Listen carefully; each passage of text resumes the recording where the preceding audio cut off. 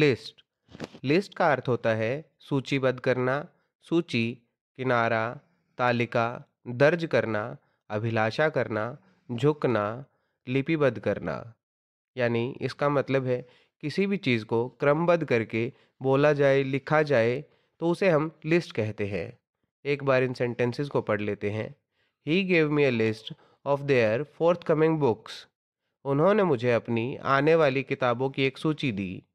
Shall I add your name to the list क्या मैं आपका नाम सूची में जोड़ दूँ?